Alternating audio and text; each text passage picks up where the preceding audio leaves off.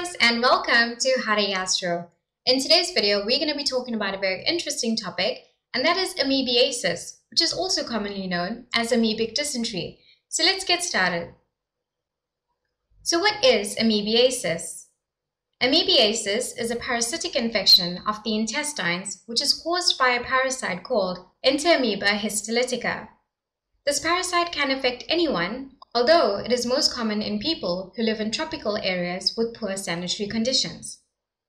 The disease is actually commonly asymptomatic, but symptoms ranging from mild diarrhea to severe dysentery may occur.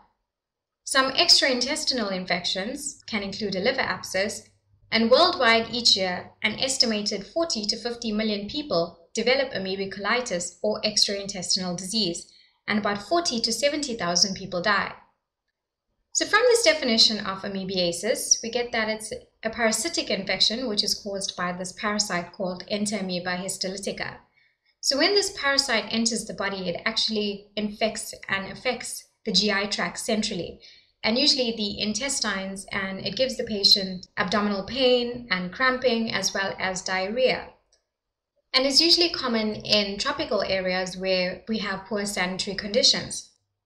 So the disease can also be asymptomatic in many patients, but some patients may develop a mild diarrhea or some may even go on to develop a severe dysentery.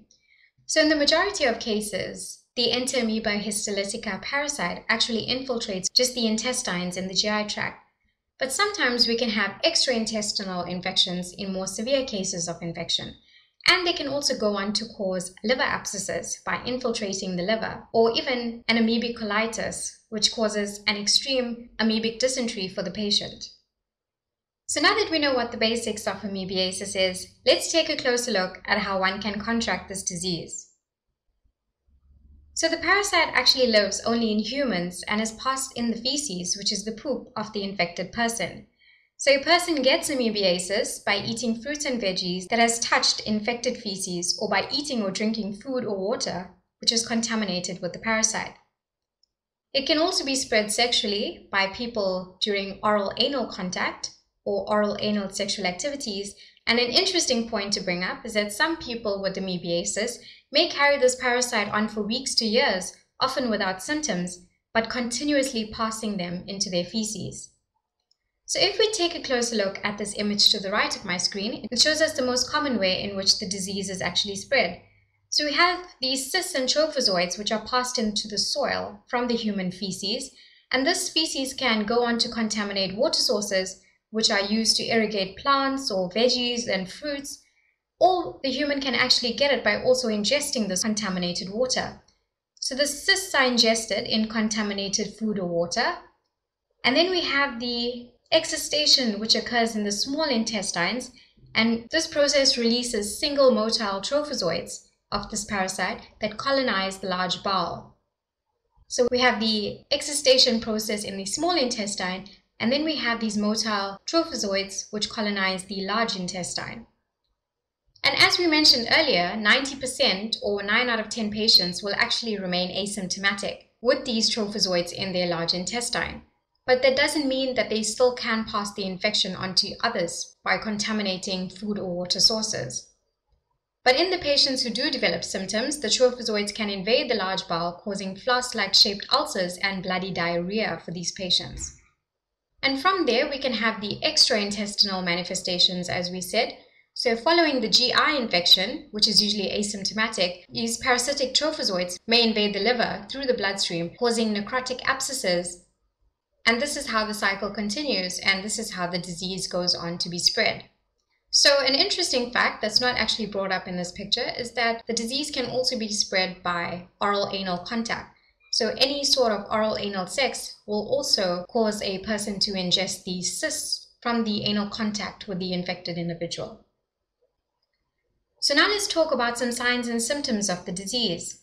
So on average, about 1 in 10 patients who are infected with the Entamoeba histolytica parasite become sick from the infection, which means that the vast majority of these patients will be asymptomatic. So the symptoms these patients suffer from include loose stools, stomach pain, flatulence, fatigue, and stomach cramping. So amoebic dysentery is a severe form of amoebiasis and is associated with stomach pain, bloody stools, and a fever. And in some rare cases, the Entamoeba histolytica parasite will invade the liver to form an abscess, and in even less common cases, it may spread to other parts of the patient's body, such as their lungs or brain, and cause abscesses even here. The diagnosis of amoebiasis. So the examination of the stools, which is the poop under the microscope, is the most common way to diagnose amoebiasis. So sometimes several stool samples must be obtained because the number of amoeba being passed in the stool varies from day to day and may be too low to detect from any single sample. So if we take a closer look at these two microscopic images at the bottom of my screen, the first one is actually a trichrome stain of Entamoeba histolytica, and we can see what these parasitic trophozoites look like. And this is actually the typical aspect of the Entamoeba histolytica trophozoite on microscopy. And finally, let's talk about the treatment of amoebiasis. So the treatment of this disease includes metronidazole and tinidazole, and metronidazole is usually given for 10 days either by mouth or intravenously.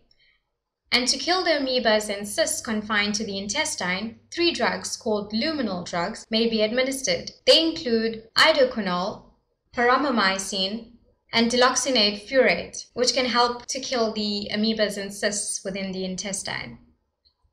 And that brings us to the end of this video on amoebiasis. Thank you guys so much for watching. Hope you found the presentation very interesting and informative.